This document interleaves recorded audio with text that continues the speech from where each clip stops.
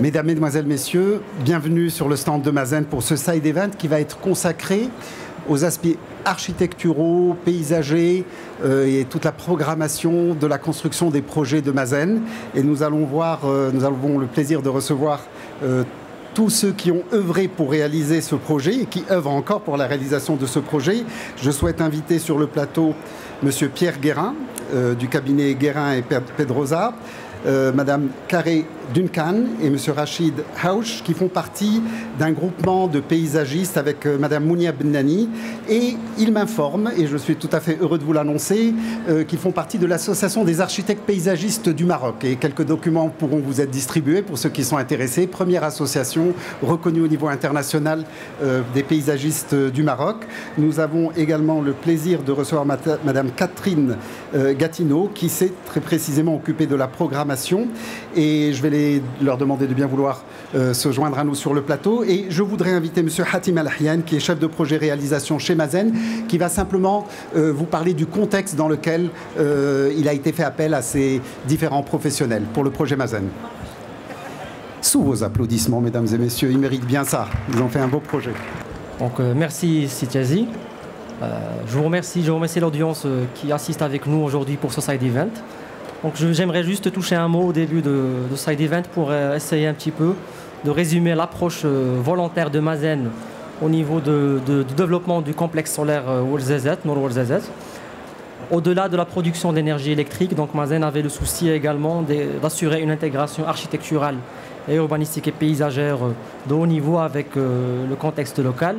Et en plus de ça, c'est d'essayer également de, créer une programmation touristique et scientifique au niveau du complexe Wolzazet pour essayer d'avoir un effet de levier au niveau de la programmation un peu en général du tourisme local. Donc euh, je céderai la parole à M. Pierre Guérin pour développer toute la partie concept architectural et urbanistique avant, d'entamer la partie paysagère et avant de finir avec la programmation culturelle et scientifique. C'est un plaisir de présenter ce, projet. Donc, euh, c'est un concours qui a été gagné euh, en 2011 euh, avec l'équipe Laraki Mestari. Par la suite, nous avons travaillé sur bah, la partie architecturale avec Monsieur Alami, architecte, qui est ici présent. Donc, c'est un projet, c'est un grand projet, ce qui était assez complexe à mettre en œuvre, nous avions peu de, références à l'époque pour, travailler là-dessus. Il faut se rendre compte, je crois que ces images de référence permettent de, voir donc euh, l'échelle à laquelle on était affronté. Ce qu'on voit bien sur cette image, la taille de Warzazat, la, taille du, site, c'est-à-dire c'est en gros 10 km de long par 3 euh, km de, large, avec euh, peu de, de références que nous avions à l'époque pour travailler là-dessus voilà, le, terrain lui-même, un grand, un grand plateau relativement horizontal, 1% de, de, pente euh, qui part du, nord euh, jusqu'à la partie sud euh, vers le lac qui est situé. Donc l'aspect, il y a un paysage qui est extraordinaire dont on voit quelques images ici sur, sur le côté et sur les rives. Donc c'est un, immense plateau qui, qui donne des, des, vues tout autour sur l'oued Argoun, l'oued Izerki. Ensuite des vues sur l'Atlas sur la partie nord sur le barrage Mansour et Dabi, donc euh, dans la partie située au sud. Et c'était assez fantastique comme euh, configuration euh, de paysage. Donc les échelles, pour donner une idée, c'est-à-dire là, c'est le cas de figure, nous sommes à l'échelle de Marrakech ou l'échelle de Rabat. On voit quand même que c'était assez difficile de, saisir, d'avoir des repères sur ce terrain. Et donc, qu'est-ce que nous avons fait? En fait, nous n'avions pratiquement aucune, aucune référence sur des, terrains de, cette échelle. À, à, mon avis, c'était aussi, ça aurait été aussi simple si on nous avait proposé de faire de l'urbanisme sur Mars, parce qu'il y a très peu de, rapports d'échelle. Finalement, là, dans la démarche, nous avons regardé ce qui s'était fait à l'échelle territoriale, notamment dans l'Ouest américain, où les gens ont été, ont été confrontés à cette problématique, c'est-à-dire du découpage foncier sur des, centaines de, kilomètres. Donc là, on voit bien la, grille de l'Ouest américain avec euh, justement la manière dont ils ont géré les, incidents de, parcours liés à l'hydrographie, ce que l'on voit bien, traiter les limites de, la grille. ces images nous ont beaucoup servi dans notre réflexion.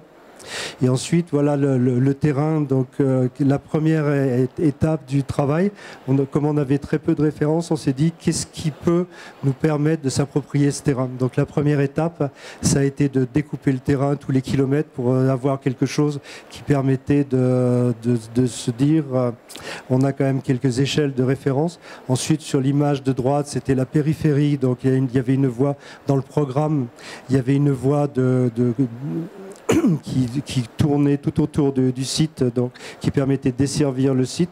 Et ensuite, dans la seconde partie, dans le programme, une voie nord-sud qui desservait toutes les centrales.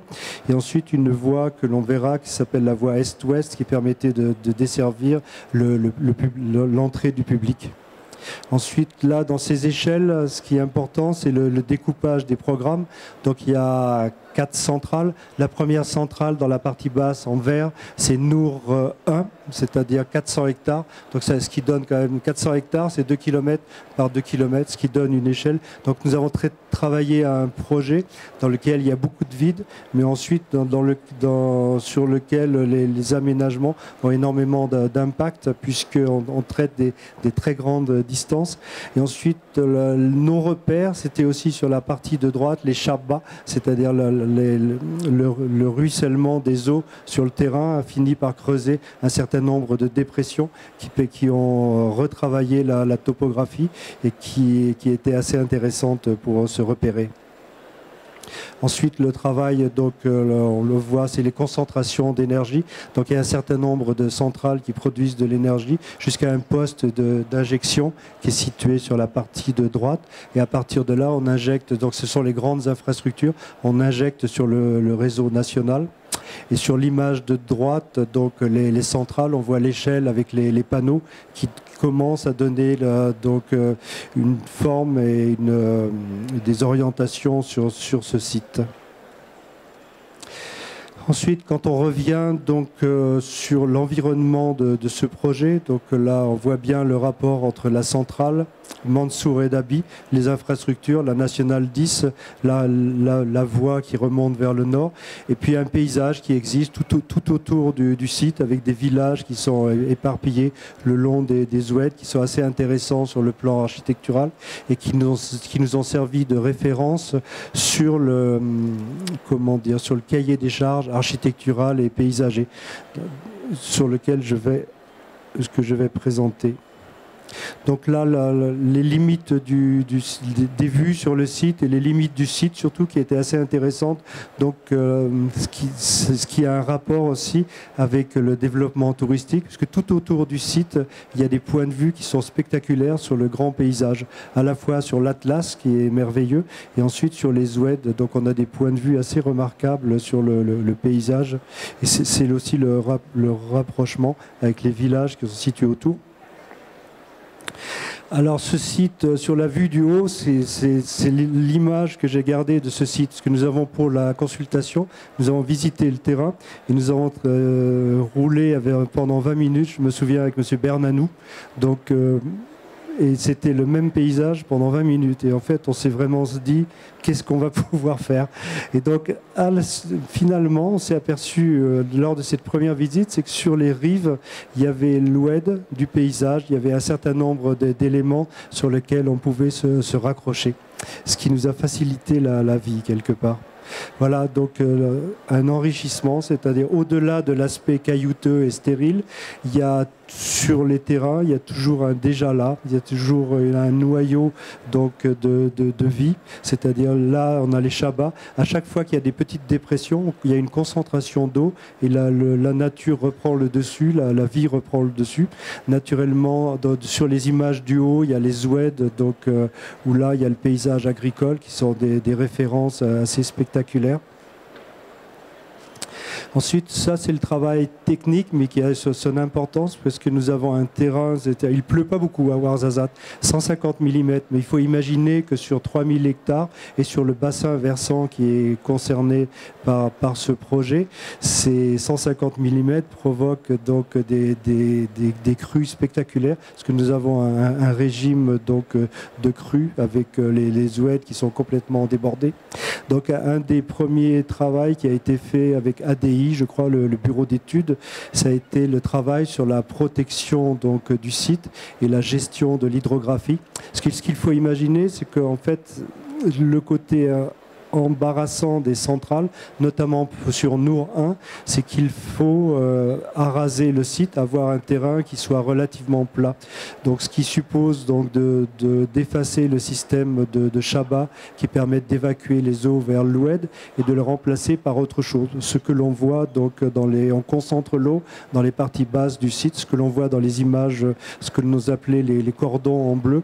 Donc, nous avons remplacé le système de Chabat par un système de cordons qui permettait à la fois de séparer les centrales, identifier chaque centrale et aussi de, gérer les eaux. C'est-à-dire dans le bassin versant de chaque centrale, il y a, une noue qui permet de canaliser les eaux et de les rediriger vers les, les, Donc il y a eu un rapport étroit entre la, topographie, la programmation et le résultat actuel qu'il y a sur ce terrain-là. Là, ce sont des détails qui, montrent la, complexité. Parce qu'en en fait, ces cordons font quand même 2 km de large. Donc on draine d'une surface considérable, avec euh, notamment avec des précipitations torrentielles.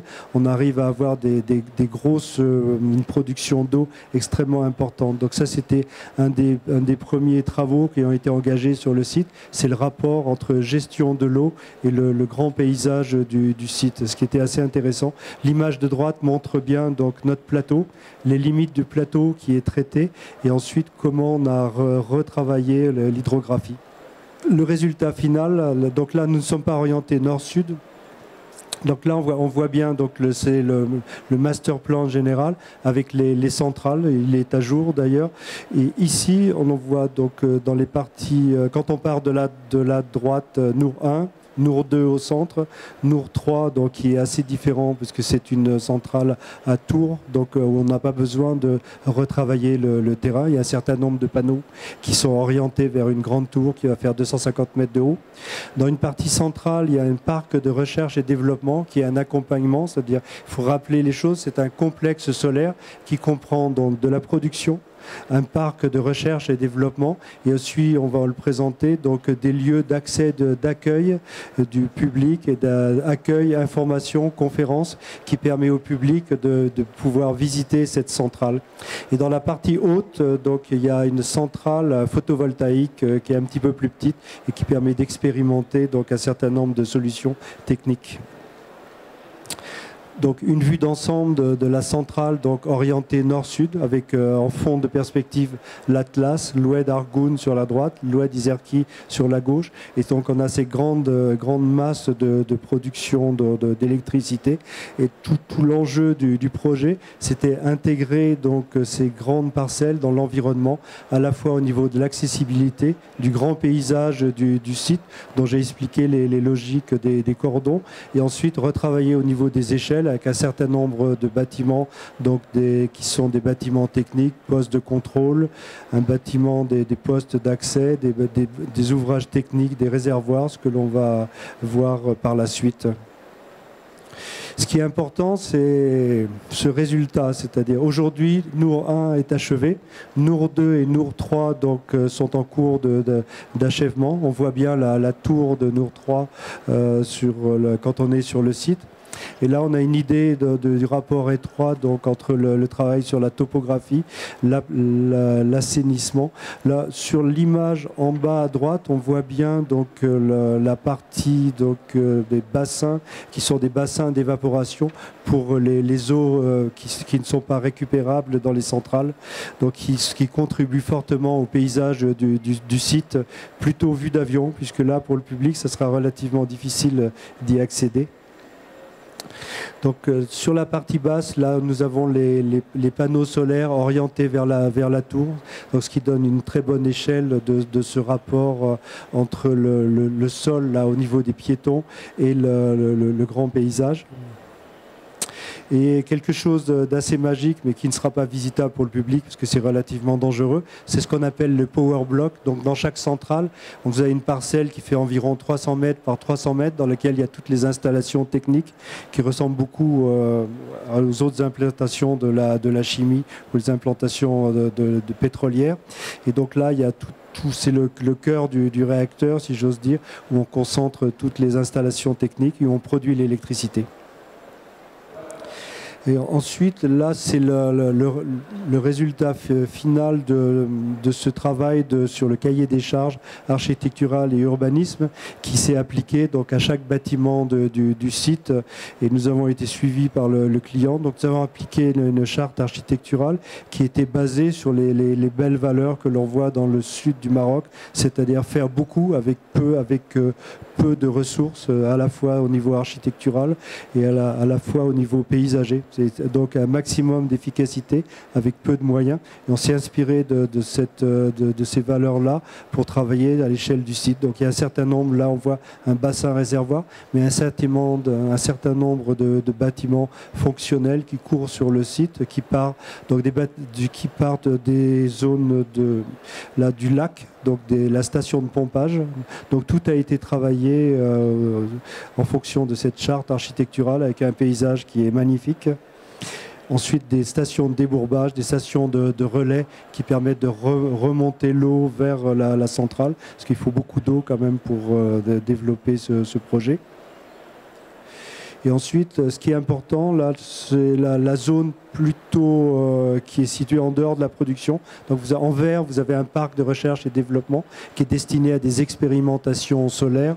Et ensuite, euh, il pourra y avoir quelques bâtiments de, recherche. Donc, les premières implantations sont déjà réalisées avec Sumitomo à droite un poste de contrôle est donc qui a été travaillé parce que ça sera l'entrée du site pour le public et sur la partie centrale, un bâtiment d'accueil et de, de conférence euh, que nous venons juste de terminer avec M. Alami, architecte. Voilà, ça c'est le, bâtiment qui est situé au cœur du, projet. Ce qui nous semblait important, c'était à la croisée de l'axe nord-sud et l'axe est-ouest, avoir un bâtiment qui puisse accueillir le public, très bien placé, très bien placé parce qu'il est, vraiment au cœur de tout le projet. Il y a une tour observatoire que l'on va voir. Euh, donc euh, là, on est vraiment au cœur de la centrale. Donc ce bâtiment comporte donc euh, un, auditorium, médiathèque, un certain nombre de services qui permettent d'accueillir tous les publics, que ce soit des chercheurs, le grand public, des étudiants. Donc c'est assez polyvalent. Les bureaux de Mazen Service et ensuite que l'on voit sur la partie de, gauche, un business center pour des conférences. Et ensuite, là, ce qui est important, c'est qu'on a, on a pu mettre en place donc, un certain nombre de principes de développement durable sur ce projet, notamment une grande tour euh, observatoire qui est aussi un MacLaf. Et là, on voit tout le réseau donc, de, rafraîchissement nocturne du projet. Je crois que là, on le voit mieux. Donc, on vient chercher de l'air frais à 50 mètres de haut la nuit. On rafraîchit le bâtiment la nuit. Donc, ça marche très bien. En plus, c'est assez économique. Voilà la, vue de, ce bâtiment. On voit donc euh, la, tour observatoire qui permet de regarder le processus qui est enclenché donc, euh, sur la, réalisation du, projet, donc qui ne sera pas terminé dans l'immédiat les vues donc, euh, quand on, du, bâtiment. Vous me pardonnerez parce que nous n'avons pas les dernières photos du site, il vient juste d'être terminé, mais on voit bien le, projet. Donc quelques, vues en tournant autour du, projet.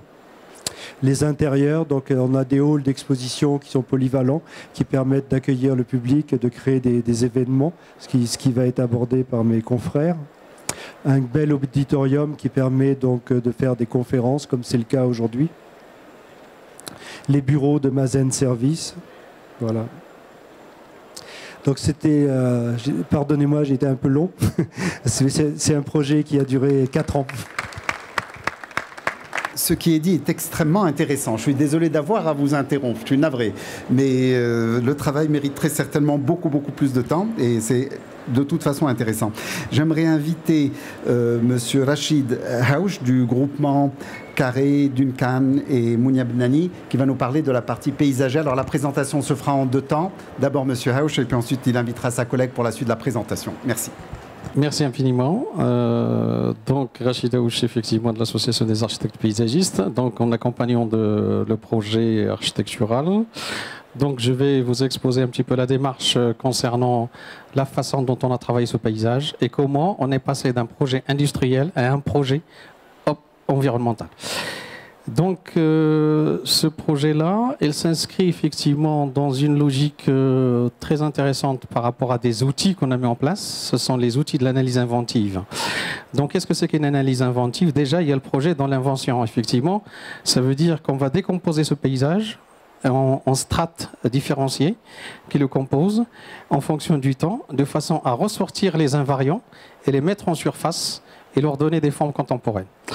Ce qui est difficile effectivement pour nous, c'est de partir de ces beaux paysages et d'en sortir un autre.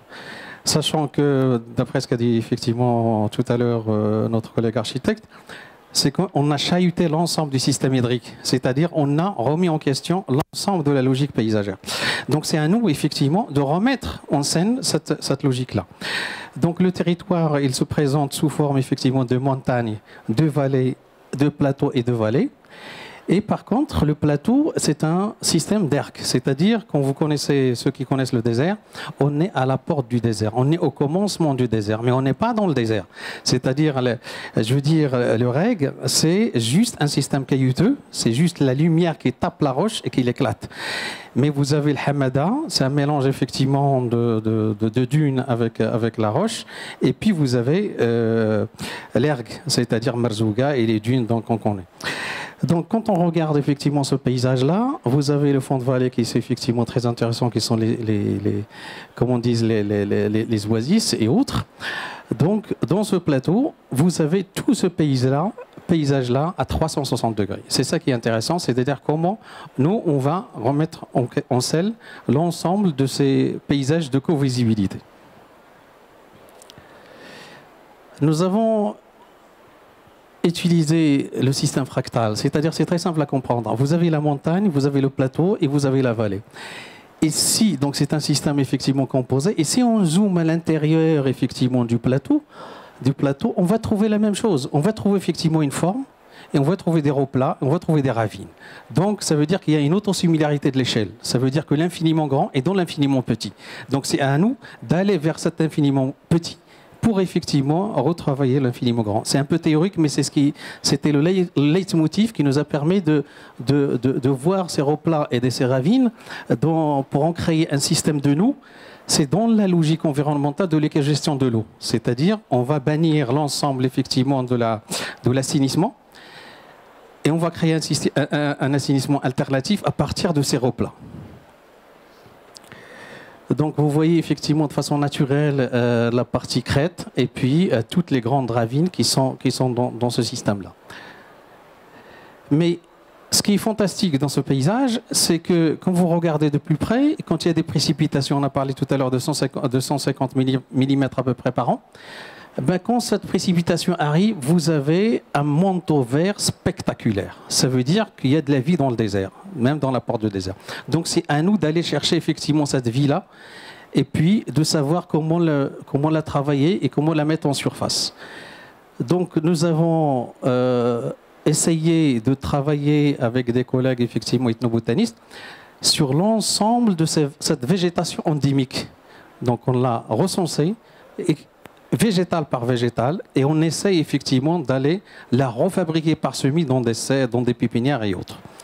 Donc il y a la partie recherche et développement par rapport à cette végétation-là. Et puis de l'autre côté, vous avez la végétation endémique. Parce que c'est cette végétation-là qui est adaptée au manque d'eau et qui crée effectivement ce paysage spectaculaire une fois que la précipitation se met en place. Donc de l'autre côté, on va servir de ce que j'appelle moi les écosymboles, c'est-à-dire de ces oasis-là qui entourent effectivement l'ensemble du paysage d'Ouarzazat. C'est juste effectivement au niveau de cet accompagnement de la végétation, il y a l'ensemble de la recherche de la texture de l'ensemble des paysages. Donc vous avez effectivement l'ensemble de, ces cailloux qui donnent un, paysage de couleur grisâtre et qui va donner la palette graphique de l'ensemble du paysage. Donc quand on regarde avec Google l'ensemble effectivement de ce qui est réalisé, donc on, M. Guérin tout à l'heure il a parlé des cordons, Et puis, vous avez ces grandes plateformes. Qui dit plateforme, ça veut dire qu'on a créé un ensemble de plans horizontaux. Donc, il est en contradiction avec effectivement le relief existant, infinitésimal qu'il soit, c'est-à-dire il y a 1 à 12%, mais quand même, il a sa valeur parce que c'est au niveau de ces cordons-là qu'on va travailler l'ensemble de l'hydrographie qui est rajouté, qui est artificiel, et que l'ensemble effectivement de ces eaux-là, on va les ramener vers un, réservoir et nous, on va les réutiliser pour l'arrosage et pour effectivement faire vivre ce paysage. Donc c'est ça qui est important. Donc l'ensemble des interventions, ils se font sur le cordon.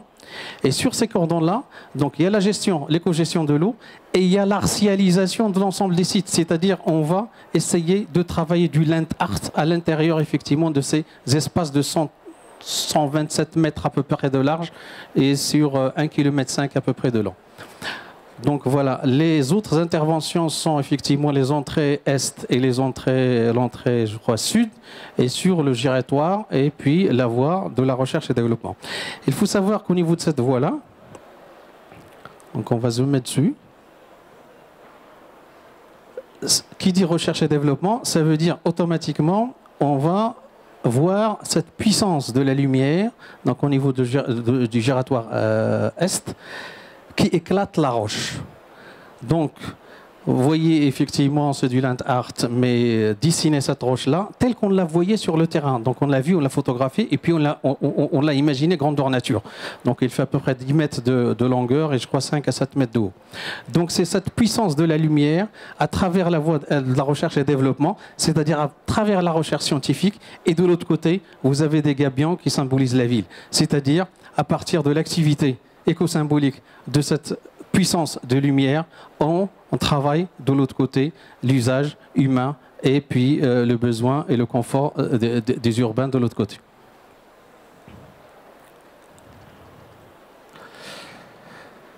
Un autre système fractal qui est très important. Donc vous avez une carte du Maroc. Donc là, on était sur Google, on zoome sur le Maroc, on zoome sur Ouarzazate, on zoome sur le complexe euh, solaire et on trouve cette carte qui est effectivement en cours de réalisation, en cours de finition.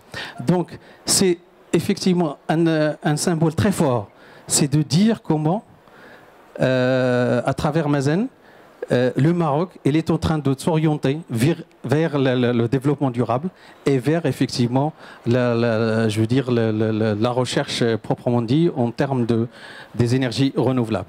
Dans cette carte-là, il a fait couler beaucoup d'encre. Hein. Et donc, je vais accélérer. Elle est, très simple à comprendre. Donc, ça va être développé de, l'autre côté, qui va être l'objet culturel de, effectivement, de ce projet-là. Donc, il est dessiné par pour un objectif bien précis, les villes sont effectivement définies en spirale. Les spirales, c'est le mouvement qu'on voit à travers euh, toute, toute, vie. Et vous avez le Rabat, qui est une, qui est une pépinière. Vous avez Ouarzazat, effectivement, comme une espèce de, de, de, je veux dire, d'oasis. Et vous avez les autres villes, les villes solaires. Donc, euh, tout à l'heure, j'ai parlé des Chabas j'ai parlé effectivement de, de cette récupération de l'eau à travers les ravines. Donc la façade maritime en fonction du temps. Donc on va fabriquer le couvert végétal juste par cette logique effectivement de, de, du refond. La pupinière, qui est très importante, elle a une triple fonction. Un, c'est la cicatrisation de l'ensemble, du site Mazen, c'est-à-dire le complexe solaire. Deuxièmement, c'est le facteur développement durable qui est très important à travers la pépinière. Ça veut dire la création de, l'ensemble du parcours pastoral pour l'ensemble des paysans alentours. Troisième point, c'est la création effectivement de l'étagement végétal pour les oasis de l'autre côté en bas. Donc c'est cette interaction entre produits industriels et tout ce qui se passe autour qui est très importante. Un plan masse pour finir sur Warzazat, pour vous dire effectivement ce qui va se passer, c'est le leitmotiv sur le développement culturel de l'ensemble de la carte du Maroc et de l'ensemble du site. Donc ça, c'est un plan masse sur, euh, disons, euh, sur 50 ans, si on peut dire, parce que euh, toute la végétation est pris en place. Vous voyez les vides, c'est pour travailler toute l'activité culturelle liée au solaire. Voilà, je termine par cette photo. Donc c'est juste pour vous parler du paradoxe du paysage. Parce que l'architecture, elle est là, elle est clé en main, mais vous avez quelques plantations qui arrivent d'olivier, mais il faut attendre 50 ans pour que l'arbre donne son effet. Donc c'est cette dimension du temps qui est très importante en matière de paysage. Et je vous remercie, je passe la parole à Madame Duncan. Euh, bonjour tout le monde, merci beaucoup Rachid. Donc moi je vais parler plus particulièrement euh, concernant les aménagements paysagers à une échelle euh, plus proche. comme Rachid a parlé des éco-symboles, notre problème était de, de voir comment interpréter interpréter, traduire ces éco-symboles en aménagement paysager sur le terrain. Donc il a, euh, parlé des euh, le manteau vert dont euh, le site se recouvrait couvert à chaque, euh, chaque épisode pluvial. Donc nous, on a observé le paysage naturel euh, pour comprendre son mode de fonctionnement afin d'intégrer le projet du paysage dans la logique naturelle euh, du cycle de vie du désert. Donc, on, retrouve le long de la voie de euh, recherche et développement les nous paysagères que nous avons fabriquées pour pouvoir intercepter les eaux pluviales, pour les faire séjourner euh, un petit peu plus longtemps sur le site et notamment sur les sites où on allait ajouter les plantes. La voie aussi était ponctuée par euh, des symboles des, gabillons, euh, soit pour marquer les entrées vers des différents euh, éléments de recherche et développement, soit pour encadrer les, vues. soit pour faire une animation nocturne par des, des marqueurs solaires qui étaient intégrés au rocher. Euh, certains compromis ont dû être faits tant au choix des végétaux, puisque le calendrier du projet n'a pas permis de faire la production des végétaux locaux dans les temps euh, nécessaires. Donc on a dû adapter et choisir quelques plantes qui étaient déjà prêtes dans les pépinières euh, afin de les, utiliser sur le site. Mais comme Rachid a dit, il y a une pépinière en cours de construction sur place afin de pouvoir enrichir euh, vraiment des, végétaux locaux. Nous avons utilisé un adjuvant au sol formé de ziolite broyé qui a servi à retenir l'eau pour, pour, faire séjourner l'eau plus longtemps dans les terres. Et nous avons aussi, euh, réaménagé euh, le terrain naturel par le repose d'une paillage naturel pour reconstituer les règles existantes sur le site, pour assurer une meilleure euh, intégration. Ici, vous voyez les nous qui fonctionnent très très bien et, récupèrent les eaux pluviales naturelles et dans le futur aussi les eaux des terrasses des bâtiments dans le, zone recherche et développement une deuxième euh, euh, image des nous. Et puis, on a aussi travaillé sur euh, la plantation de palmiers dattiers qu'on trouve qu'en petite taille, puisqu'il est interdit de transporter les plus grands sujets. Donc on plante, c'est la notion de temps qui revient, comme Rachid a mentionné, on plante aujourd'hui pour les générations futures aussi.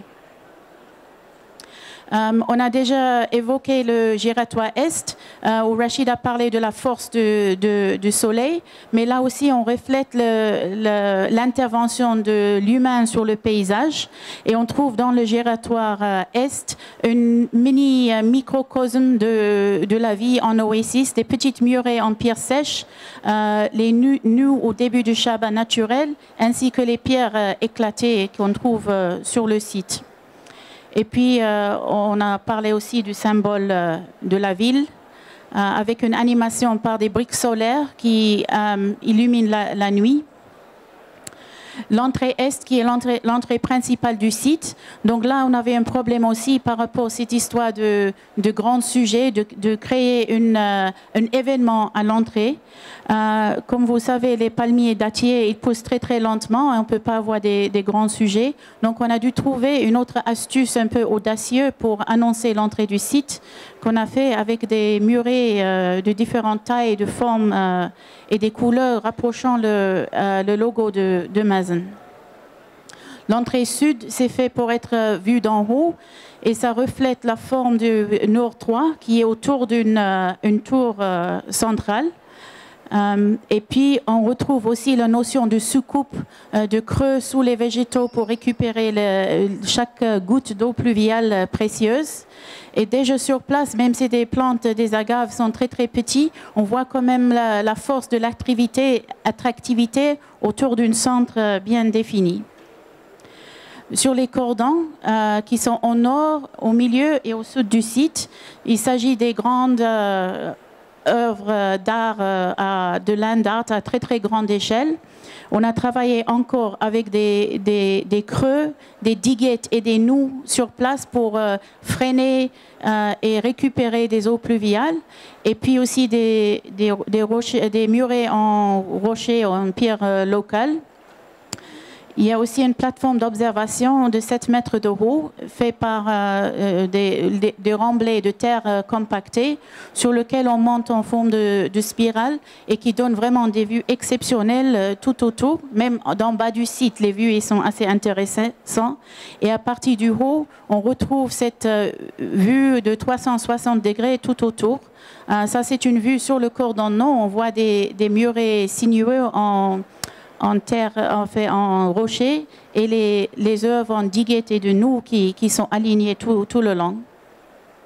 L'utilisation de petits murets en rocher euh, euh, local qui créent de, l'ombre et aussi qui retardent le ruissellement des eaux pluviales. Et aussi juste des petites interventions de la création des sillons euh, qui aussi sert à, à freiner l'eau et dans lequel on aura une végétation naturelle qui vient s'implanter avec le, avec le temps.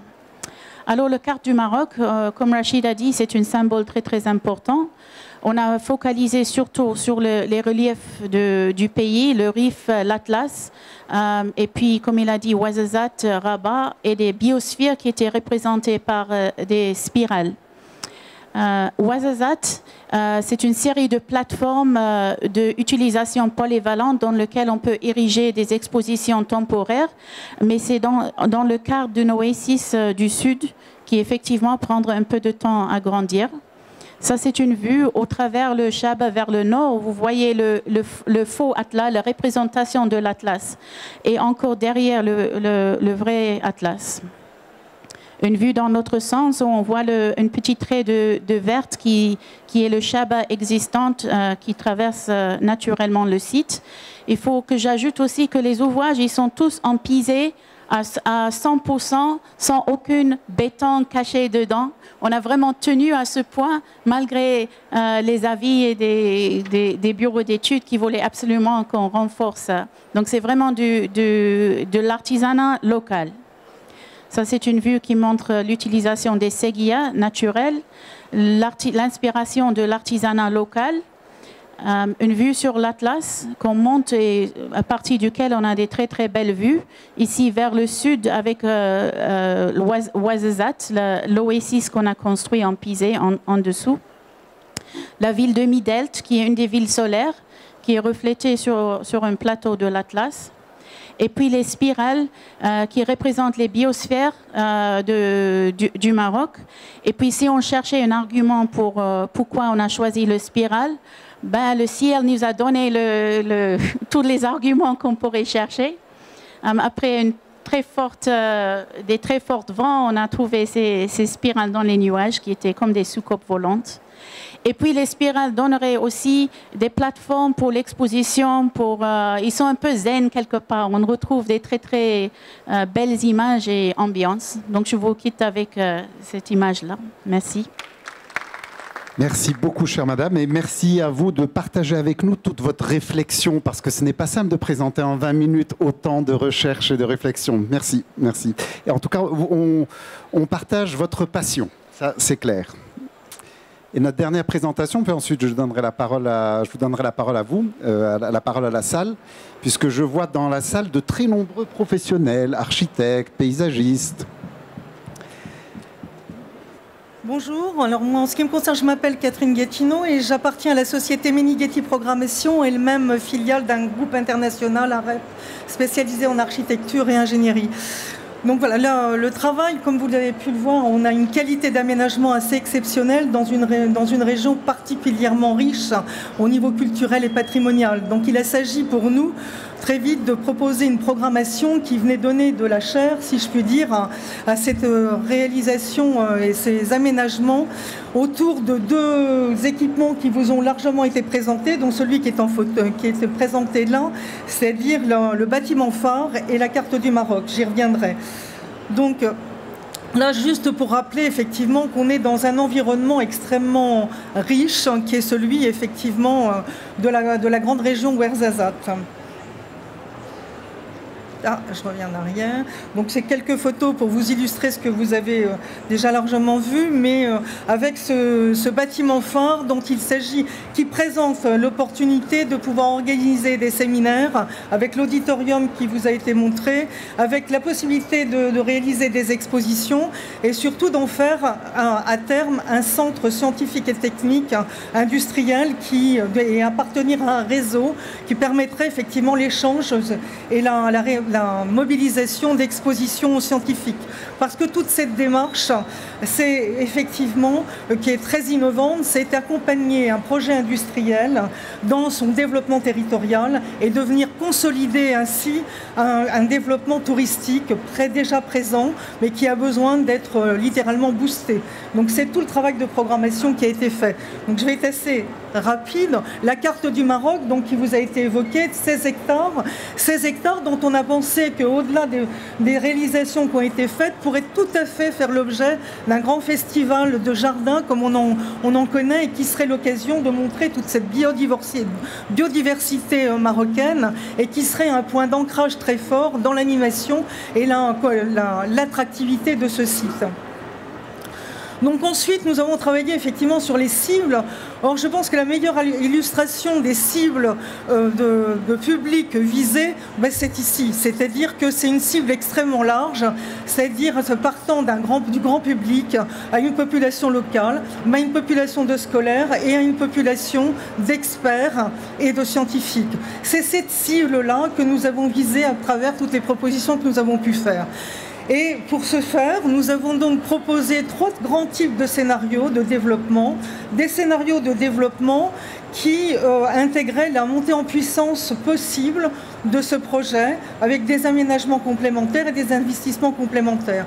Donc trois scénarios qui classiquement va du plus modeste, si je puis dire, et, ce côté modeste est déjà euh, important, à un projet beaucoup plus euh, ambitieux, associant très largement le territoire. Et ça, c'est effectivement un point très important de, de, toute la démarche que nous avons eue, c'est d'avoir, de vraiment poser ce complexe industriel et le tourisme industriel qu'il pouvait euh, générer comme un booster du développement territorial. Donc euh, en positionnant Massen pas seulement comme un industriel, comme il a pu le montrer à travers la réalisation de ces aménagements qu'il a portés et de toutes les infrastructures qui ont suivi, mais aussi comme un industriel éco-responsable, porteur d'un développement local.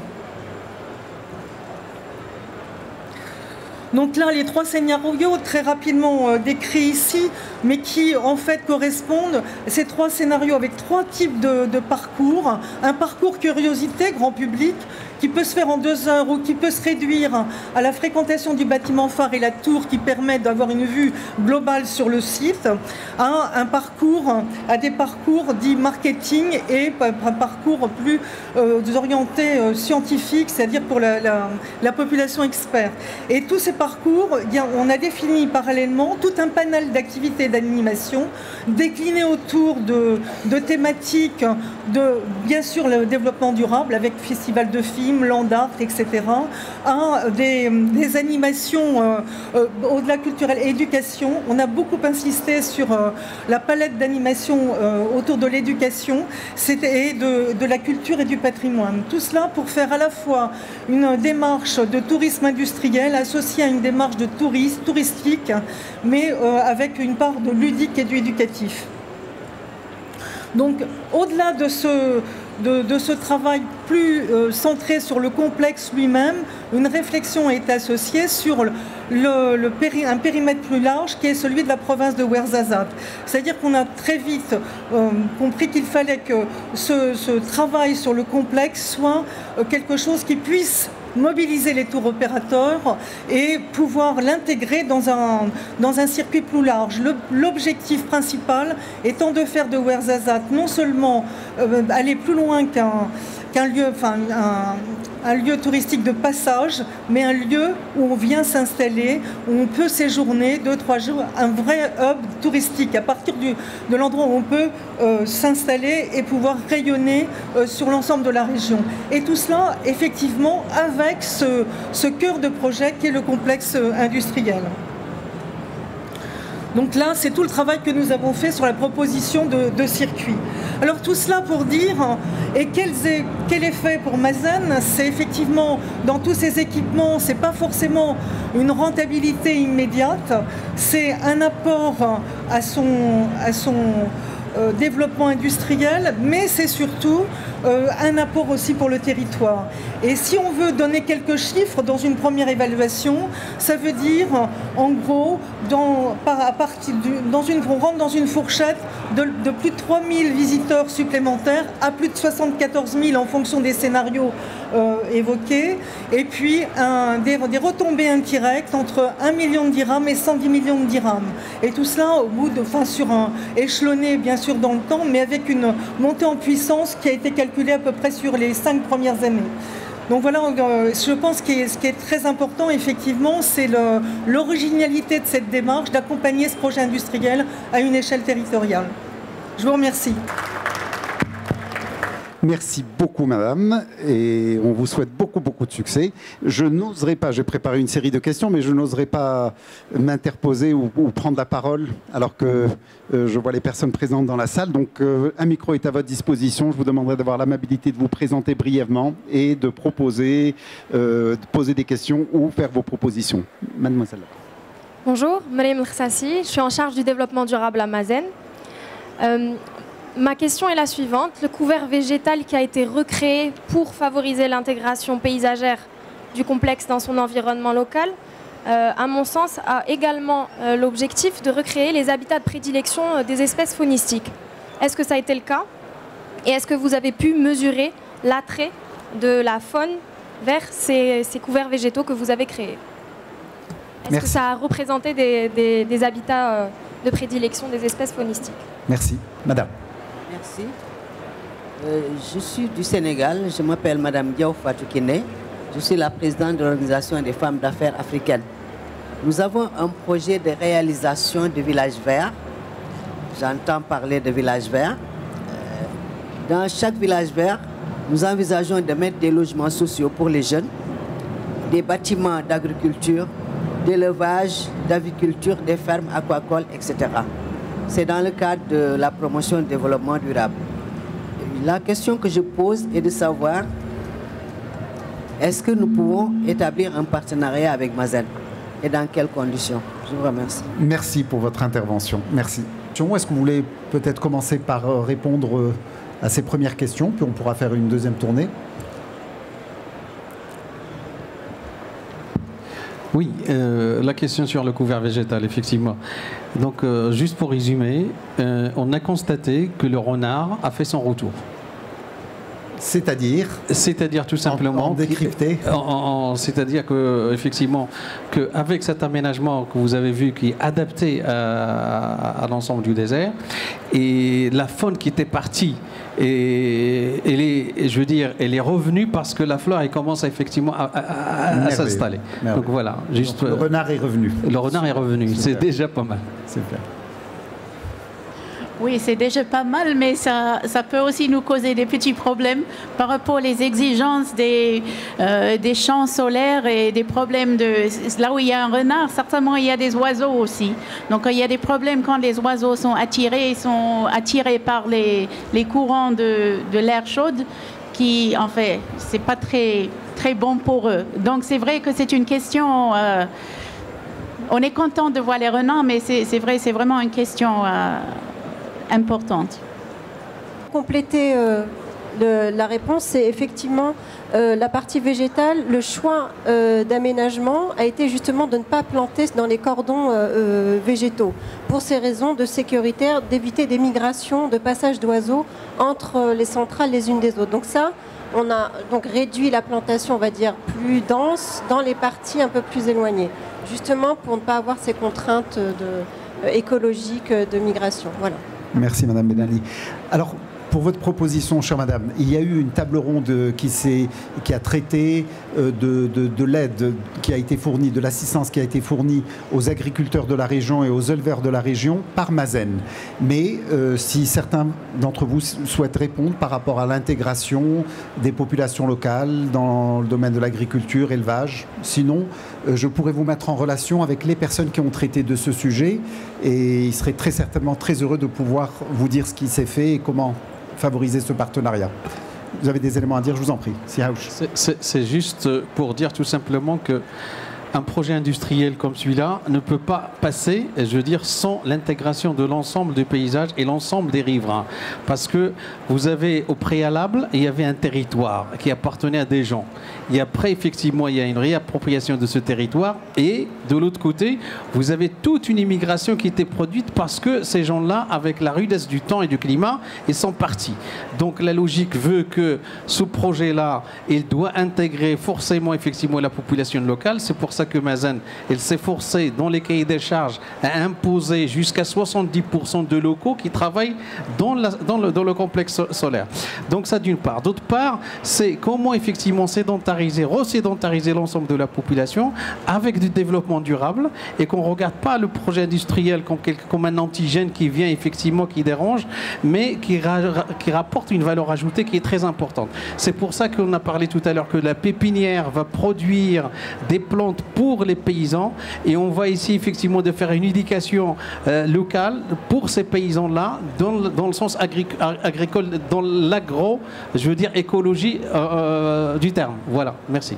Madame Gatineau, sur la même question. je rajouterais simplement que l'objet de la programmation, c'est effectivement, effectivement d'associer la population locale. C'est bien toute la démarche qui a été faite. Donc voilà, c'est complètement complémentaire. Merci. Monsieur Pierre Guérin, euh, je sais que vous travaillez au niveau international. Vous êtes, euh, votre associé vient du Venezuela, je crois, et vous intervenez. Ah Bienvenue, bienvenue. Et vous intervenez en Chine, dans d'autres pays. Est-ce que l'exemple euh, Mazen pourrait être une inspiration pour vous pour envisager des projets similaires sur d'autres pays? Est-ce que vous avez déjà commencé à réfléchir à la question? Oui, tout à fait. En fait, ce qui nous intéressait dans, ce projet, c'est pour nous, c'est quand même un peu révolutionnaire, c'est de travailler sur des terrains qu'on estime partiellement désertiques. Et je crois que j'ai assisté à un certain nombre de conférences sur l'agriculture africaine. Ça rejoint un peu vos préoccupations. C'est-à-dire quels sont les, objectifs? C'est fixer les populations locales, redévelopper des territoires, renaturaliser les, les sites. J'ai vu un excellent exemple sur Rama, je crois, où on plante des cactus. Ça permet de créer une agriculture un peu sophistiquée où on a de l'huile de cactus qui rapporte quand même pas mal d'argent. Et je crois qu'on s'inscrit dans ce, dans ce développement général, c'est-à-dire comment est-ce qu'on peut associer les populations locales, comment est-ce qu'on peut donner vie à des territoires qui sont un petit peu négligé, où les gens, il y a, quand même beaucoup d'émigration. On voit dans les villages du sud beaucoup de femmes, les hommes sont partis dans le nord pour travailler. Et je crois que ça peut être un des moteurs, euh, des projets comme ça, ça peut être un des moteurs pour redynamiser donc, ces villages. D'ailleurs, je, suis un diplôme actuellement d'une jeune architecte marocaine qui travaille sur le développement donc, des, villages autour de, des sites euh, comme ça, ce qui montre bien qu'il y a un intérêt aussi des, des habitants locaux c'était, je voudrais dire, c'était un laboratoire ce projet pour Mazen, c'est-à-dire beaucoup de spécialistes sur des sujets qui sont extrêmement complexes. C'est quand on voit des sols fragiles, pas beaucoup d'eau, très peu d'eau d'ailleurs, des sols qui sont très difficiles à traiter.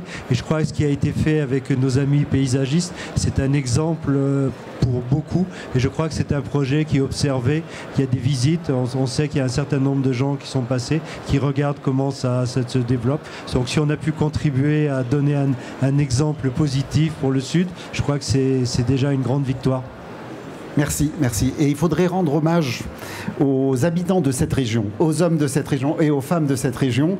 Ce sont des gens reconnus euh, comme étant des gens très sérieux. Ils constituent une force importante de main-d'œuvre pour tout le secteur du bâtiment à travers le Maroc entier et j'imagine à l'extérieur aussi. Donc c'était juste l'occasion pour les remercier et les féliciter pour, pour leur travail. Cher maître. Monsieur Bousfeha, euh, architecte urbaniste. Euh, et assistant, euh, conseiller assistant euh, à Mazen. Bon, euh, sur la dernière question que vous avez posée à Pierre, je crois que le Maroc aujourd'hui peut être considéré comme un véritable laboratoire, dans ce sens d'intégration, sachant que la plateforme Mazen, pratiquement, c'est la plus grande station, vous le savez très bien, à travers le monde. Et ce qui est intéressant, c'est la démarche qui a été suivie. Et là, je salue vraiment le maître d'ouvrage qui est Mazen, euh, au niveau de la réflexion qui a été menée au départ sur le, plan des, cahiers de charges, qui était extrêmement important et qui, était, qui allait dans les détails. Pour vous dire, euh, la, première, disons, euh, identification du site, tout le monde a été dit est-ce qu'on va pouvoir réussir ce challenge 3000 hectares, c'est la superficie pratiquement de Marrakech en tant que ville. Ça va être la première ville, disons, d'énergie renouvelable.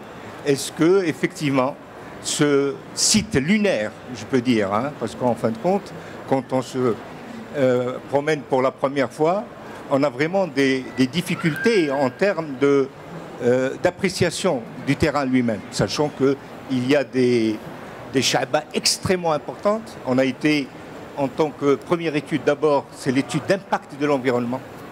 Parce que vous savez ce qui se passe au niveau des orages dans ces régions désertiques, on a l'impression que parfois on oublie. On oublie qu'il y a de l'eau à un moment donné.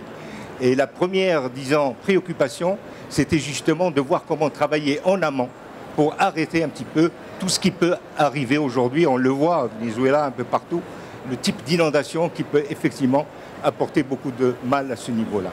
Donc euh, la démarche est une démarche aujourd'hui où euh, pratiquement euh, tout le monde est associé, au niveau bien entendu de toute l'expertise nationale, l'expertise locale, et surtout les ponts qui ont été jetés entre les pôles d'excellence dans les universités, etc., dans les instituts, l'ADR, etc. Tous ces gens-là, le ministère de l'Agriculture, tous ces gens-là ont apporté beaucoup de, de, valeur ajoutée à, ce niveau-là. Et c'est dans ce sens que la démarche était importante pour la simple raison qu'on s'est dit, euh, on ne va pas venir en tant que plateforme sans savoir ce qui se passe dans les environs. Et la première des choses, c'est prendre en considération l'être humain qui habite là-dedans, c'est-à-dire la population locale. Et Ouarzazate, vous le savez, c'est la première station cinématographique au niveau international. Elle est connue pour le cinéma, elle est connue pour le tourisme, et maintenant elle va être connue pour les énergies renouvelables. Et c'est pour ça que Madame disait tout à l'heure que parmi les scénarios, c'est comment cibler Ouarzazate en tant que phare, produit phare pour toute la recherche scientifique au niveau international. Et c'est dans ce sens, certainement, euh, M. Guérin, euh, la, Pierre l'a dit tout à l'heure, nous avons une plateforme développement et recherche qui est extrêmement importante et qui a déjà donné ses fruits puisque la semaine dernière, on a été pour inaugurer la première station japonaise qui, après bien entendu les tests qui ont été faits et qui ont été probants, eh ben, l'investissement est arrivé avec euh, pratiquement une vingtaine d'hectares où il y a un champ de... Donc, euh, en, en termes d'intégration, tout a été fait pour étudier effectivement le côté sociologique et économique de, et que Mazen va pouvoir apporter à ce niveau-là. Et toute la population, je peux vous le dire tout de suite, a été, puisque 70% de, de, de, ce qui se fait aujourd'hui se fait par la main-d'œuvre locale. Et il y a des petites entreprises qui sont déjà en train d'être créées, c'est-à-dire euh, les petits porteurs, les, les, ceux qui amènent les aliments, ceux qui amènent, disons, l'alimentation, le problème du, euh, du, transport en commun. Ils ont acheté des petites voitures pour amener les gens qui travaillent dans les, euh, villages à côté pour les ramener jusqu'à la plateforme de Mazen. Donc tout ça pratiquement a pris de la valeur et je pense que c'est un véritable laboratoire et c'est un challenge qui a été euh, réussi au niveau national. Merci beaucoup, M. Bousfera, pour ce complément d'information. Effectivement, c'est la création de l'écosystème. Voilà, ça contribue à la création de ce qu'on appelle l'écosystème. Euh, d'autres interventions du public? Oui, madame. Madame. Dominique Fruleux, euh, région Rhône-Alpes.